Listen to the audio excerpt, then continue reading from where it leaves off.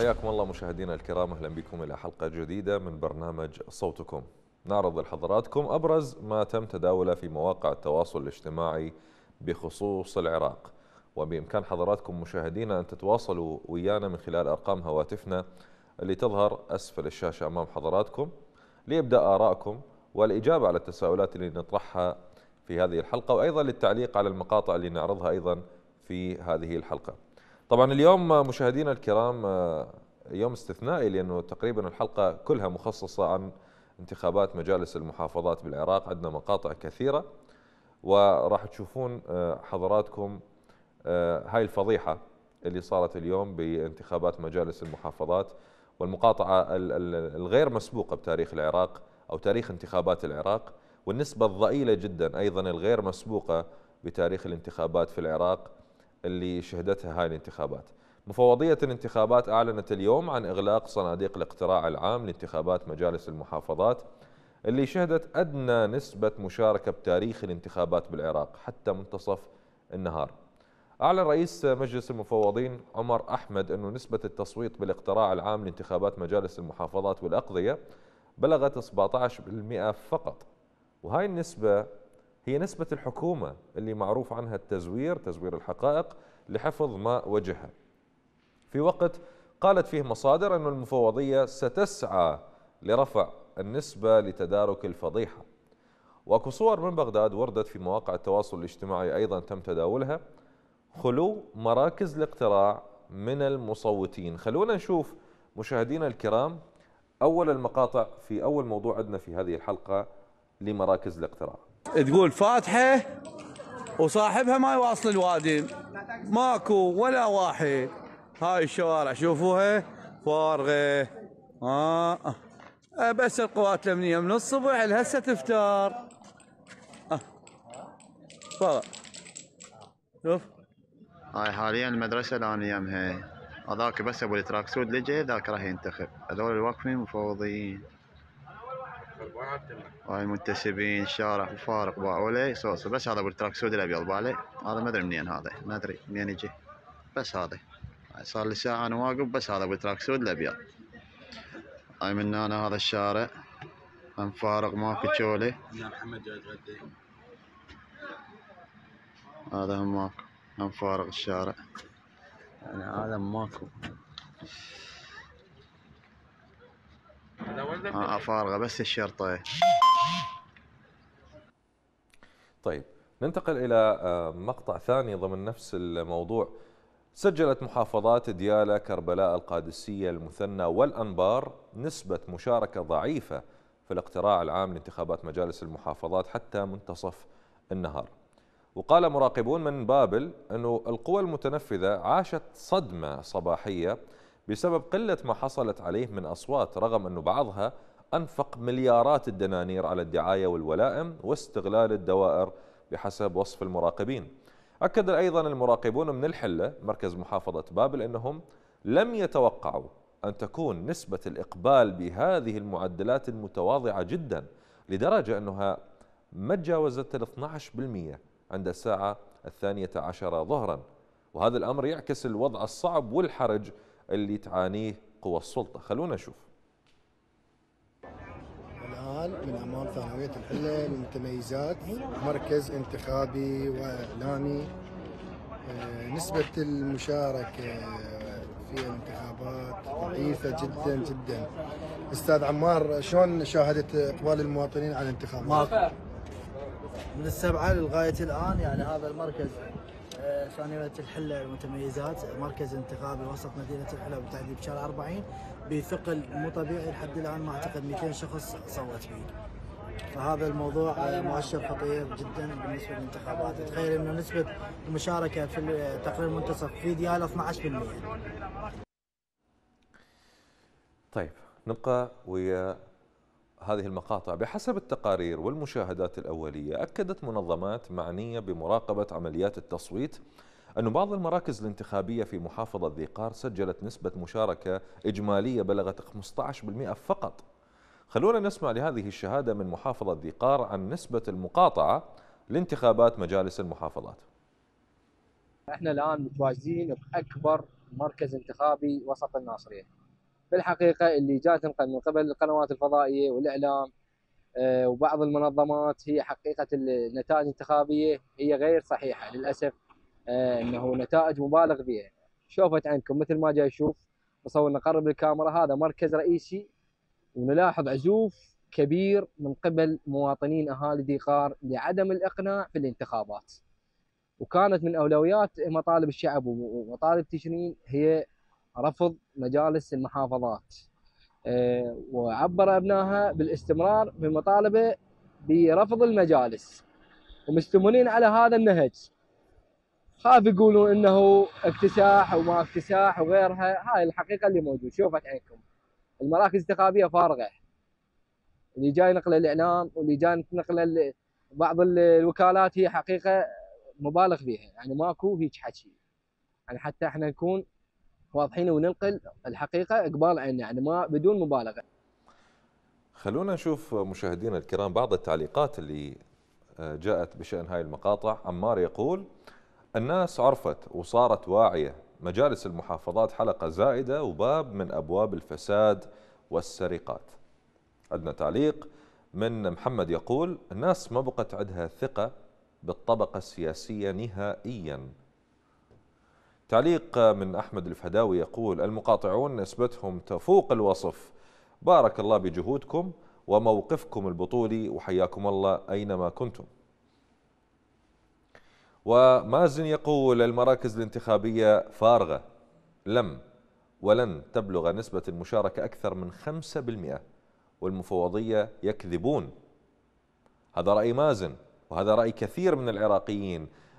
وهاي كانت نتيجة المسرحية مشاهدينا الكرام. مهما حاولوا الترقيع ومهما حاولوا آه، تضخيم هذه الأعداد ومهما حاولوا تجميل هذه الصورة تبقى الحقيقة قائمة. هاي الانتخابات فعلا بأحسن أحوالها لم تتجاوز نسبة المشاركة بها 5% في أفضل حالاتها. وراح تشوفون أن الحكومة راح تعلن عن 40% نسبة المشاركة. وهذا الشيء ليس بجديد. وليس بغريب عن هذه العملية السياسية وانتخاباتهم الفاشلة. أنتظر مشاركاتكم مشاهدينا الكرام. أريد آراءكم وتعليقاتكم عن هاي الفضيحة اللي صارت اليوم اللي ضربت العملية السياسية في مقتل وهاي الانتخابات ضربت في مقتل العراقيين اليوم. أثبتوا أنهم يرفضون هذه الطبقة السياسية ولا يعطونها أي شرعية. أكو إعلامية تابعة القناة آه، حنان الفتلاوي تقول حتى لو واحد شارك فهذه الشرعية للانتخابات. شرعية للطبقة السياسية هي اللي تريد هذا الشيء. تريد الناس تشارك حتى تحظى بشرعية أمام الرأي العام المحلي والدولي. لكن أنتم ما يهمكم شرعية الناس اللي تعطى إلى من يحكم. أنتم يهمكم الشرعية الشكلية أمام العالم الخارجي والداخلي.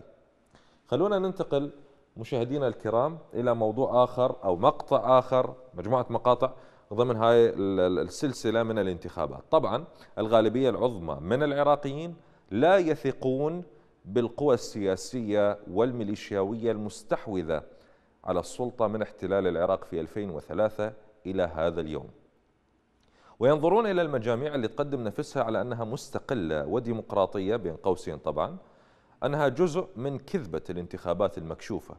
وحتى من أجبر لظروف معينة على المشاركة في التصويت وثق لأنه هو عنده حس وطني دفع أن يوثق عملية إتلاف ورقته الانتخابية لرفع الحرج عن نفسه. هذه المقاطع تم تداولها في مواقع التواصل الاجتماعي وإجينا لحضراتكم بشيء بسيط جدا من مقاطع تم تداولها لعمليات إتلاف للأوراق الانتخابية. أثناء عملية الاقتراع. خلونا نشوف.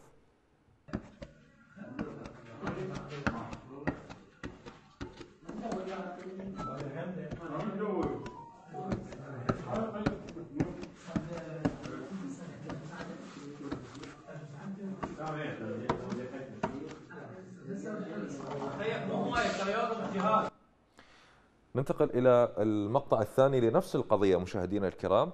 مجالس المحافظات طبعا هي وظيفتها خلينا نشرح بس باختصار اختيار المحافظ ومسؤولي المحافظة التنفيذيين وعندها صلاحيات الإقالة والتعيين وإقرار خطة المشاريع حسب الموازنة المالية المخصصة للمحافظة من الحكومة في بغداد. طبعا هذا الكلام وفقا للدستور.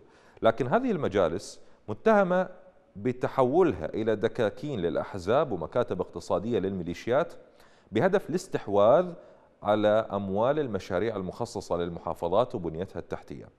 أغلب العراقيين ينظرون بعدم ثقة للوعود اللي يقدمها المرشحين لانتخابات مجالس المحافظات اللي آه، ستفرز طبعا خلال الساعات القادمة والأيام القادمة. وراح تفرز أيضا شخصيات تتحكم بأوكار الفساد وتخدم مصالح الأحزاب آه، اللي آه، تسيطر طبعا على الحكم في العراق. خلونا نشوف مقطع آخر لمواطن عراقي آخر. حرصه على بلده وخوفه على المصلحة العامة. وأيضا لرفع الحرج عن نفسه وثق عملية إتلافه وإبطاله لصوته داخل كابينة الاقتراع. خلونا نشوف.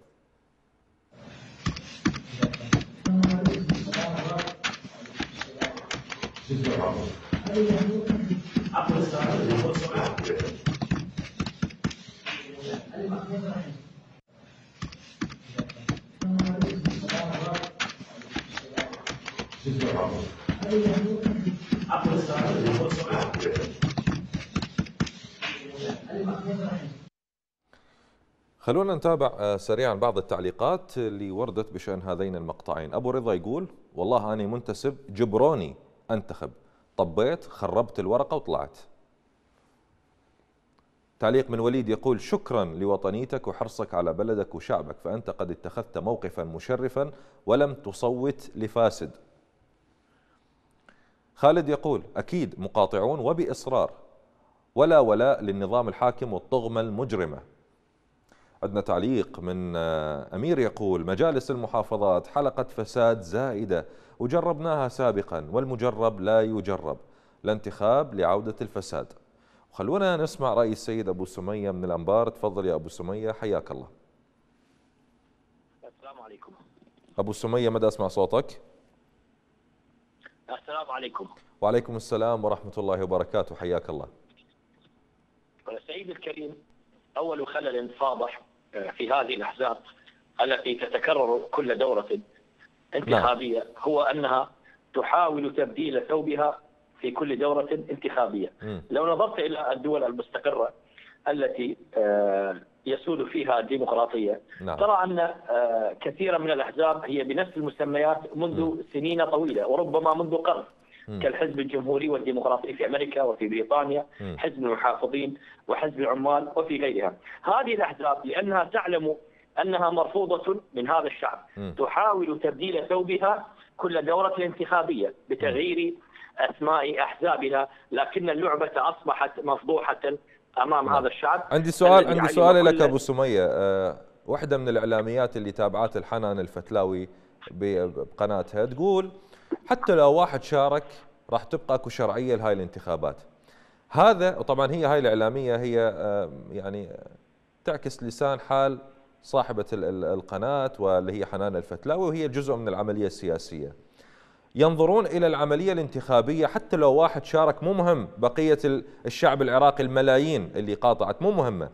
لو واحد شارك باعتبار إنه ماكو بالدستور مادة تبطل الانتخاب في حال وصولهم إلى نسبة معينة من الأصوات فيقول لك لو واحد شارك أنا يكفيني يعطيني شرعية لهذه الانتخابات هم لا يهتمون إلى من قاطع بقدر ما يهتمون إلى الفئة القليلة جدا اللي شاركت هل هؤلاء عندهم حرص على البلد وعلى الشعب؟ سيدي الكريم آه، أمر التزوير وأمر آه، النسبة المنخفضة للمشاركة في الانتخابات أصبح امرا مفضوحا ولو صرح سياسي بهذا الأمر المفضوح فمن الذي سيحاسب؟ لا جهة سياسية أو لا جهة أمنية سوف تحاسب وأصبح الأمر عاديا. المواطن العراقي آه، وصل إلى مرحلة اليأس ووصل إلى طريق مسدود.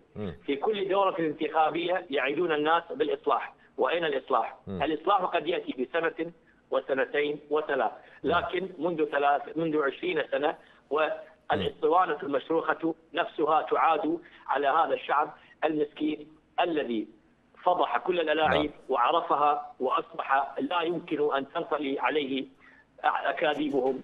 شكرا حياك الله سيد أبو سمية. أبو عبد الله من صلاح الدين. أبو عبد الله الأحزاب تقول هذا عرس انتخابي. يعني هذا كان عرس انتخابي هذا كانت فاتحة. السلام عليكم وعليكم السلام ورحمة الله وبركاته. أي نعم صحيح. عرس انتخابي لهم يفيدهم مم. يعني هو من يقول من يقول شرعية. نعم. أي نعم هو يقول شرعيه يقول حتى لو انتخب واحد غير شرعية صحيح. يعني الانتخابات بيوم وليلة قروها. سووا انتخابات ودفعوا مليارات المليارات دفعوها من بيت أبهاتهم. نعم. حنان الفتلاوي دفعت المليارات من بيت أبوها. مم. من بيت أبوها. مم. يعني أستاذ العزيز هو من عيسى نعم. يعني هم من ع- شرعية على رأسنا مختلفين شرعية. انطيتوه حق المواطن. المواطن انطيتوه يعني عندكم قرار مال نعم. على أساس يصوتون على العفو العام يعني العفو العام شو نايم.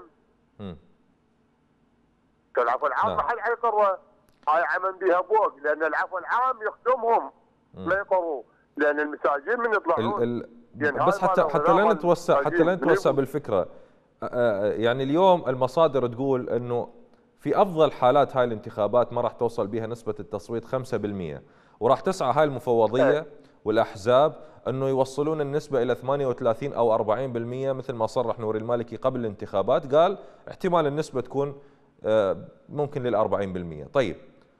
هم بالعادة ودائما هذا هو آه، هاي هي سياستهم إنه يرفعون من سقف الأرقام لما توصل الأمور إلى هذا الحد ال- ال- المخيف. الانتخابات اللي مضت اياد علاوي قال نسبة المشاركة ما تجاوزت 15% المفوضية تقول 40 ل 46 5% كارثة يعني ماكو شرعية شعبية لهاي الحكومة.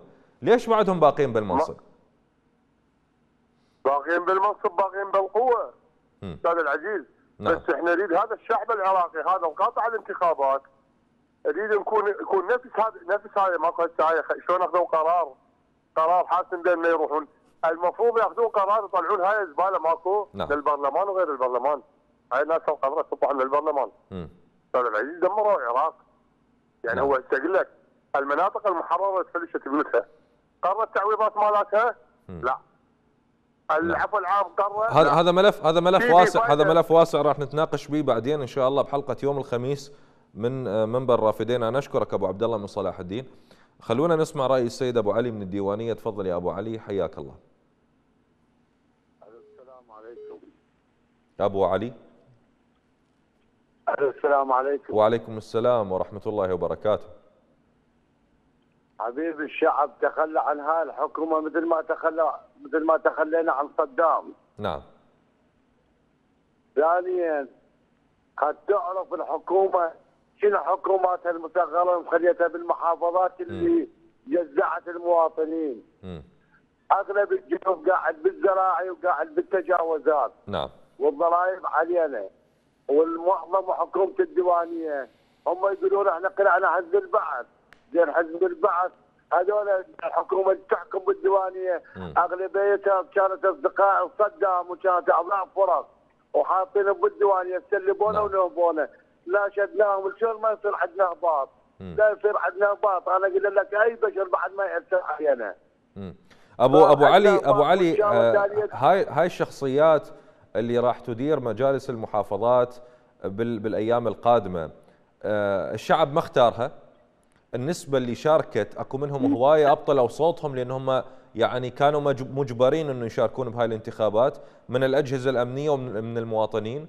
يعني ما عندهم شرعية شعبية حتى يديرون هاي المناصب. تتوقع ذولا اللي يجوي رغما عن الناس رغما عن المواطنين راح يكون عندهم دافع إنه هو يخدم الناس؟ راح يكون عنده آه، طموح إنه هو يحسن من من الوضع في المحافظة؟ 20 سنة صار لهم 20 سنة بعدنا قاعدين بالتجاوز. 20 سنة بعدنا دوم جدا ما نشتري من التاجر نشتري بالات. بس الضرائب علينا. يعني هم هم ما جايين جايين لخدمة شعب. هم جايين لسرب ونهب لا أكثر ولا أقل. نعم. يعني نقول لا حكومة الديوانية جو معنا ناس ما عندنا. الديوانية فقيرة. يقول نعم. أنا بفكركم لو الله. طيب. وحول الله اللي جينا حطينا أربع أرهاب. نعم. كانوا شو- يقتلون افامنا بال- نعم. بالمكافحة الارهاب بالجيش شكرا أبو علي من الديوانية أشكر حضرتك. شكرا جزيلا للمشاركة. عندنا اتصال من السيد أبو علي من بغداد. تفضل يا أبو علي حياك الله. السلام عليكم أستاذ محمد. وعليكم السلام. كل الهلا يا أبو علي. شلونكم عين شلون الله يحفظك. حياك أبو علي. تفضل. والله آه، أستاذ محمد يعني بالنسبة للانتخابات يعني شو تقول بها يعني زينة مو زينة؟ أنت شاركت؟ بالنسبة والله آه، والله يعني إحنا ظلنا بحيره يعني. يعني مش مصيبة يعني. تعال شاركت لو ما شاركت ما علي؟ والله إحنا آه، يعني ليش أقول لك يا أخي؟ الله مشاركة بس شو أسوي يعني؟ صار يعني يعني أنت ما. مقتنع؟ يعني أنت شاركت ما مقتنع؟ والله إحنا شو نسوي؟ مو مو مشكلة. يقول لك لازم تروح. يعني إحنا شو نسوي؟ إحنا حلو حلو الكلام حلو الكلام. الله واحدة. يقول لك لا أحسن دقيقة الجاي دقيقة. أحسن. دقيقة أستاذ محمد. دقيقة أبو علي دقيقة بلا زحمة عليك. تفضل تفضل. يقول لك شارك. يعني أنت أنا اللي افتهمته من كلامك إلى الآن أنت ما مقتنع لكن خايف من جهة آه، أكو جهة ضاغطة عليك أكو شخص ضاغط عليك لا لا والله أستاذ محمد لا لا لا ابد ابد. بس أنا شنو دخلوها بشغلات دين وكذا وما أدري شنو قالوا لازم تروح وكذا وما. شنو إحنا فشنو الشغله أنه تمام. إنها بس يجوز الأحسن شوية طيب. لا أكثر ولا أقل يعني يجوز يعني سؤالي إنك- سؤالي ولو أني ما أريد ما أريد أحرجك بس أني حابب عندي فضول. حابب أعرف ألمن اختاريت والله أستاذ والله اللي ببالي يعني ما أقدر أقول لك يا طيب فضائيه طيب. أبو علي أبو؟ علي آه، من رحت من رحت إلى من رحت إلى مركز الاقتراع. من رحت إلى. مركز من رحت إلى مركز الاقتراع. الحكومة تقول المشاركة كانت آه، ال- ال- المشاركين كانوا آه، يعني السيول تتدفق إلى مراكز الاقتراع. كانت أكو هاي الأعداد الضخمة؟ لا والله أستاذ لا والله مو يعني شلون تجي الانتخابات اللي قبلها اعداد قليلة؟ إحنا بشرق القناة إحنا فهاي المناطق شرق القناة تعرف أنت مسيطرين عليها مكون بس أكو ناس راحت رغم ما هي هم أكو راحت بس مو تمام. الأعداد اللي هو يعني يعني هاي الانتخابات الأعداد بها أكثر من اللي سب اللي سبقت لو هاي أقل من اللي سبق؟ والله بالنسبة إحنا أنا من دخلت شفت قبل ذيك الانتخابات القديمة نفس الأعداد تقريبا بالنسبة للمنطقة بس بعد غير مكانات نعم. أقول نعم. لك لأن واحد الله فوق راسه. طيب أنا أشكرك أبو علي. أشكرك شكرا جزيلا على صراحتك ويانا. شكرا للمشاركة. آه، أبو علي معروف عنه الرجل إنه هو ميال إلى درجة ما إنه يصير بخط آه، هاي الحكومة. هو حسب الطرح اللي يطرحه. طبعا هو الرجل أيضا ينتقد هاي الحكومة وينتقد العملية السياسية لكن آه، يبدو من اللي افتهمته إنه أكو ضغوطات تمارس على الناس عن طريق المنابر الدينية يخوفوهم.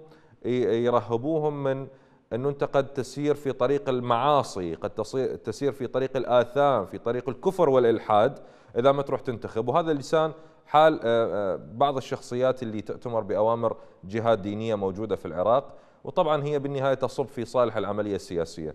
آه، يقول رغم إنه هو مشارك ورغم ما قلنا لكن يقول إنه الانتخابات والمشاركة ضعيفة جدا، ضعيفة جدا. وهذا الرجل ساكن بمنطقة يقول باقي المناطق ما أعرف. حنعرض الفضايح بعد شوي أكثر. نسمع سيد عادل من الكوت ونكمل المقاطع. تفضل يا عادل. للأسف فقدنا الاتصال ويا السيد عادل. طبعا لجأت قوى السلطة في العراق إلى الخطاب الديني مثل ما سمعنا ويا السيد أبو علي من بغداد. لجأت إلى الخطاب الديني في محاولة لحث العراقيين على التوجه للانتخابات بعد عجز دعاياتها الانتخابية عن الترويج لمرشحي الكتل الفاسدة ومجموعة من وجهاء الحوزة في كربلاء دعوا العراقيين للتوجه إلى الانتخابات لأنها الأمور اللي حثت عليها المرجعية مرجعية النجف مثل ما هم قالوا. وهاي المحاولات وهذا التلاعب بالمصطلحات وهذا ال- الكلام هو كان لحث الناس واللعب على الوتر الديني واستغلال عواطف الناس واستغلال أيضا التزاماتهم التزامهم الديني في سبيل دفعهم للمشاركة في انتخابات لانتخاب الفاسدين. خلونا نشوف مشاهدينا الكرام آه، المقطع الآتي لهاي المجموعة. إلى أبناء شعبنا العراقي الغيارة انطلاقا من الرغبة الكبيرة لدى المجتمع في تغيير الواقع العراقي السياسي والخدمي نحو الأفضل والتزاما بالتوجيهات العامة الصادرة من مقام المرجعية الدينية المباركة والتي وصلت للجميع من خلال منبر الجمعة المبارك وغيره. نبين ما يلي اولا ضرورة التوجه إلى صناديق الاقتراع يوم الاثنين الموافق للثامن عشر من شهر كانون الأول سنة 2023 لاختيار ممثليكم في مجالس المحافظات. ننتقل إلى مقطع ثاني ضمن نفس الموضوع مشاهدينا الكرام. هؤلاء اللي شفتوهم قبل لحظات بالمقطع لم يكتفوا فقط بإصدار البيانات وأنا أقصد شريحة المعممين بل استغلوا منابر الحسينيات في العراق من أجل حث الناس على المشاركة بالانتخابات بعد المقاطعة الكبيرة من الشعب العراقي لهذه الانتخابات. وتساءل العراقيون عن دور هاي المنابر الدينية في حث العراقيين على يعني ليش ما يحثون العراقيين على التظاهر ومحاربة الفساد والانتفاض بوجه الظلمة الطغمة الحاكمة بدل ما أحثهم على الترويج أو على المشاركة بانتخابات ما بها أي منفعة للمشاركين بها من الشعب العراقي لأنها بالنهاية تصب في مصلحة الأحزاب الفاسدة. خلونا نشوف ونسمع. يا أبناء منطقتنا الكرام إن تماهل إن تماهلكم وعزوفكم عن الانتخابات سيؤدي إلى نتائج وخيمة أكثر من ذي قبل. وقد دعت المرجعية عبر معتمديها إلى التوجه إلى صناديق الاقتراع وانتخاب الأصلح.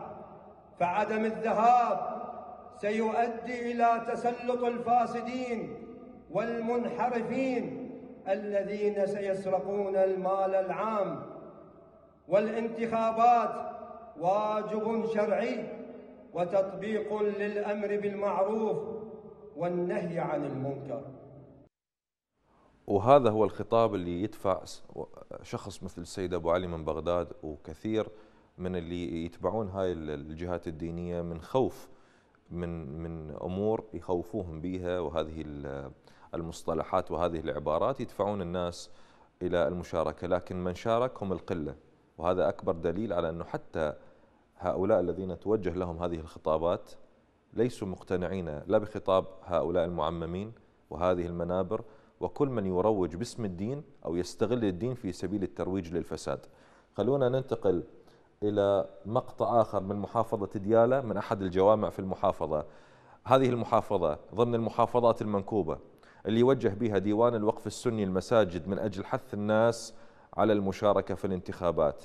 فبعد العزوف الشعب الكبير والإقبال الضعيف على المراكز الانتخابية استخدمت أحزاب مشاركة في هذه الانتخابات استخدمت الجوامع في مدن مثل الموصل ومحافظات مثل دياله والأنبار من أجل حث الناس على المشاركة بانتخابات مجالس المحافظات، لكن هذه الأصوات لم تجد من يسمع نداءات الفاسدين.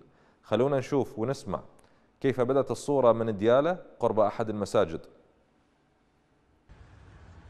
إلى جميع أهالي الباطون الكرام المحترمين التوجه العام إلى مراكز الاختراع للانتخابات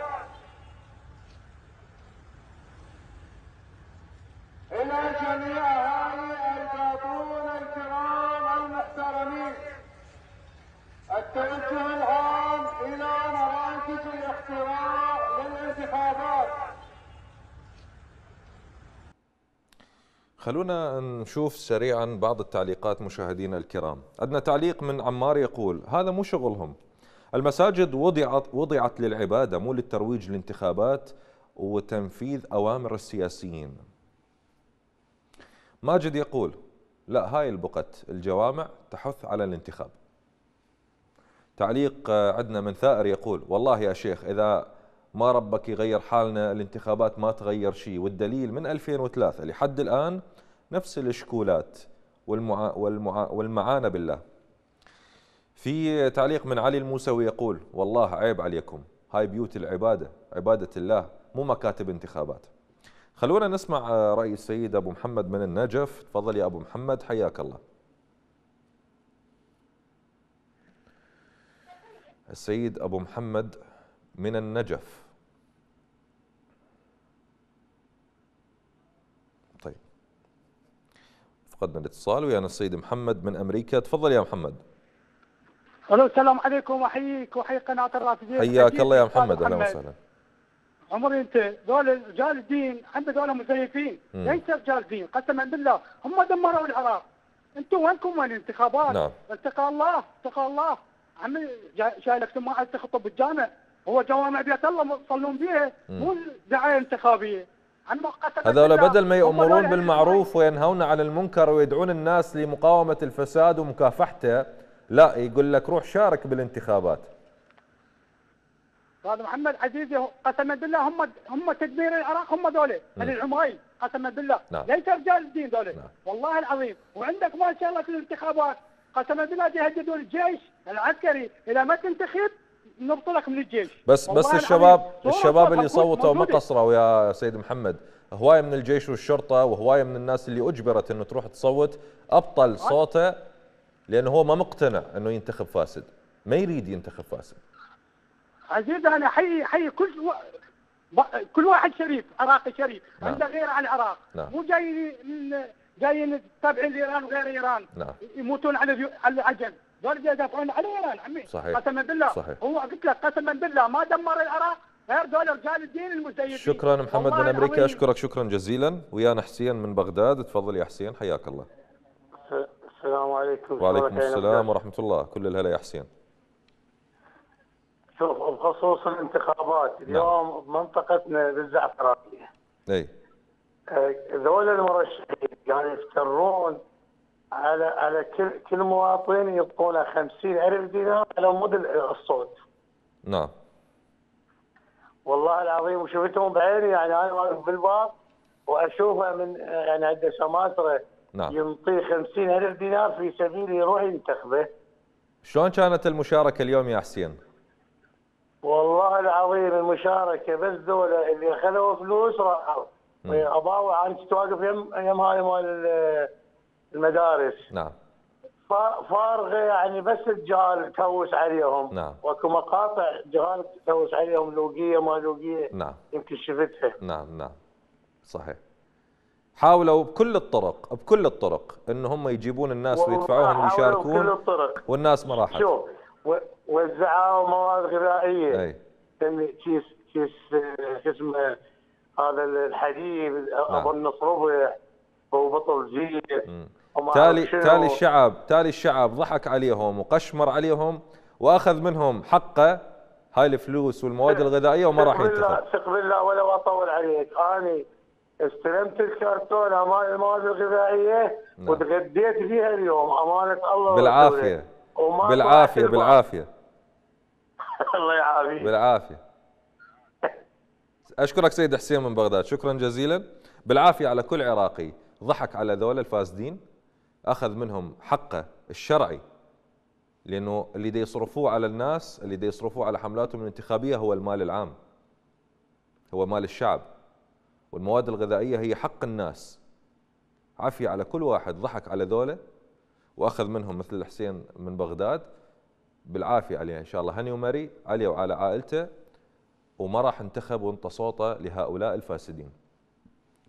خلونا نكمل مشاهدينا الكرام، السلاح طبعا لم يكن في منأى عن ما وصفته السلطة بالعرس الانتخابي. أفاد مصدر أمني انه مسلحين مجهولين أطلقوا النار على منزل مرشح للانتخابات شرق بغداد. وقال المصدر انه مسلحين مجهولين استهدفوا أحد المرشحين ضمن منطقة البلديات عن طريق إطلاق النار على منزله. أضاف بانه الحادث ما سجل أي إصابات بشرية لكن كانت هناك أضرار مادية على واجهة المنزل. والم... طبعا منفذي الهجوم لاذوا بالفرار إلى جهة مجهولة. وبهاي الأثناء أظهر تسجيل مصور قيام جماعة تابعة لتحالف سياسي بمهاجمة مركز انتخابي شمال بغداد حتى يرغمون الناخبين على التصويت لمرشحهم، خلونا نشوف. ويقول لك عملية ديمقراطية وانتخابات سلسة وتتم بمنأى عن العنف واستخدام السلاح. هاي المنتسبين خدم شيخ العشيرة من عندنا هاي شوف هاي المنتسبين بارك الله بكم منتسبين بارك الله بكم بارك الله بكم بارك الله بكم بارك الله بكم بارك الله بكم منتسبين بارك الله بكم بارك الله بكم بارك الله بكم بارك الله بكم بارك الله بكم بارك الله بكم بارك الله بكم منتسبين عون الله بارك الله بكم صوابهم اثنين صوابهم اثنين شوف شوف شلون يشحطون فيه شوف شوف. قرب الزوم علي شوف شوف شلون شحطون شوفه. دا تشوفه دا تشوفه. هذا البطابط عن الفوز أمرهم يضربون الناخبين. لون عبد الجبار لون فشل الانتخابات لون عبد الجبار لون فشل الانتخابات باع باع باع باع باع. شوف شلونه. شوف الزوم مالته. شوف. هذول هذا أمر فوج الله لا يوفقه. وشوفه دا يضرب الناخبين. لو عبد الجبار تدخل لو كالتلفون لو عبد الجبار لو شوف شوف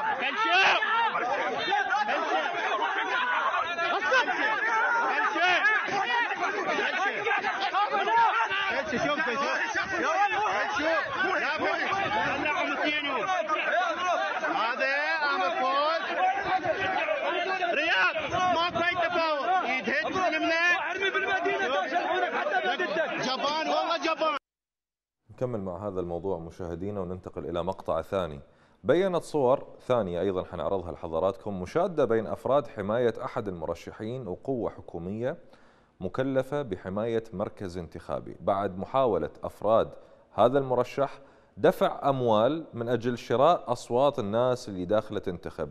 بعد العزوف الشعبي وعدم تمكن المرشحين من حصد الأصوات اللي تأهلهم للفوز. خلونا نشوف. باي. هذا رقم السيارة. بيان هذا. يلا. صور السلاح ويريدون يضربون. هاك. يجرون الأرقام. باي. هذا رقم السيارة. بيان هذا. يلا. صور السلاح ويريدون يضربون. خلونا نشوف التعليقات مشاهدينا الكرام اللي وردت بشأن هاي المقاطع. حسين العراقي يقول لوقية يتكاتلون بيناتهم والمرشح بنص العز. محمد يقول مثل ما النائب يشتري صوتكم بفلوس راح يبيعكم بالفلوس اللي يحصلها بعد الانتخابات. وهذا اللي كنا دائما نقوله ونحذر الناس اللي تنوي إنه تنتخب أنه يا جماعة يشتريكم بالرخيص بخمسين ألف راح يبيعكم بأرخص. حامد يقول يا لبؤس هذه العملية لأن أدواتها من السراق والخونة والساقطين أخلاقيا. هذا المرشح اللي يشتري الأصوات بكرة في المنصب يبيع العراق ويساوم عليه. عباس يقول أصلا اللي يبيعون أصواتهم حرام عليهم. لأنهم يساعدون الفاسد على تسنم مناصب لا يستحقها. كانت هذه جزء من التعليقات مشاهدينا الكرام اللي كانت وردت بشأن هاي المقاطع. خلونا نروح إلى فاصل قصير ومن بعده نعود لنكمل مع حضراتكم.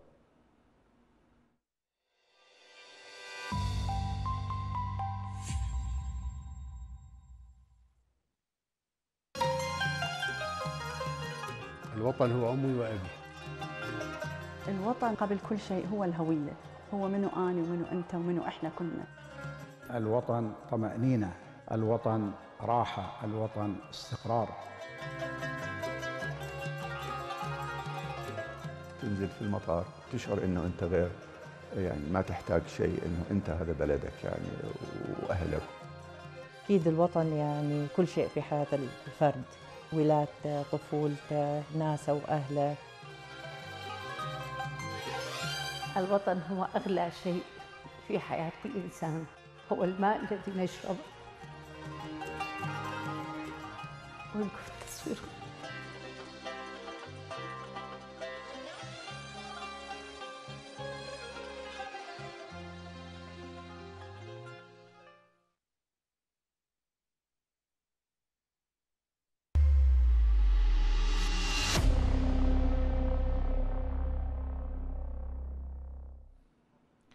حياكم الله مرة ثانية مشاهدينا الكرام. ارتفع مستوى المقاطعة للانتخابات بعد ساعات من بدء التصويت بانتخابات مجالس المحافظات في المدن العراقية. وبين حجم العزوف الكبير عن لا مبالاة العراقيين بعمليات الاقتراع خاصة وأنه أغلبهم من الشباب اللي يشعرون أنهم ما لمسوا فوائد ثروة العراق النفطية الهائلة اللي تم توجيه قسم كبير منها بشكل خاطئ أو سرق في بلد يصنف من أكثر دول العالم فسادا. وطبعا كان الإقبال ضعيف في ساعات الصباح الأولى لهذه الانتخابات واستمر على ذات الوتيرة حتى تم إغلاق الصناديق الساعة السادسة مساء. في وقت استمر وسم الشعب مقاطع للانتخابات استمر تصدر منصة إكس للتعبير عن حجم الرفض الشعبي للمشاركة في هذه الانتخابات. عندنا مجموعة من التعليقات اللي آه، وردت بشأن هذا الوسم. رذاذ يقول أقترح على مفوضية الانتخابات جمع أوراق الاقتراع لكل محافظة بصندوق واحد صغير حتى يسهل نقلها. ليش يخسرون فلوس والصناديق فارغة؟ وطبعا يعني تعليق إذا قرون المفروض يستحون على نفسهم. كمال يقول قد علم الجميع هذا اليوم أن الإطار التنسيقي أقلية منبوذة في المجتمع العراقي. وهذا انتصار بحد ذاته لكل العراقيين.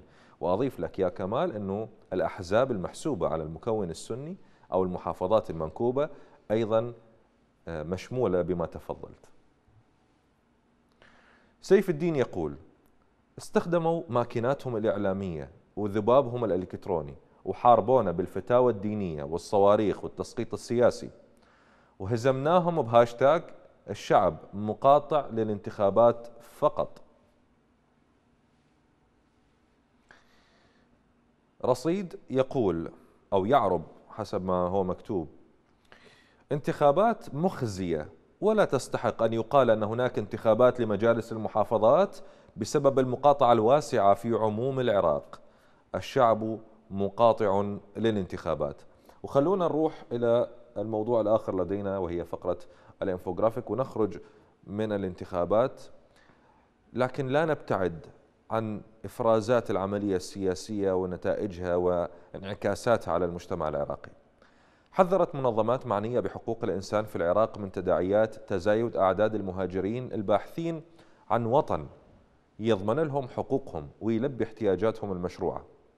وحملت المنظمات الحقوقية حكومات الاحتلال المتعاقبة مسؤولية هجرة الكفاءات والطاقات الشبابية إلى خارج البلد بسبب عجزها عن توفير متطلبات الحياة الكريمة وحماية الناس والشباب من أجندات الأحزاب والميليشيات اللي تهيمن على المشهد العراقي من عام 2003 مزيد من التفاصيل في سياق الإنفوغرافيك اللي أعد قسم التواصل الاجتماعي في قناة الرافدين الفضائية. خلونا نشوف.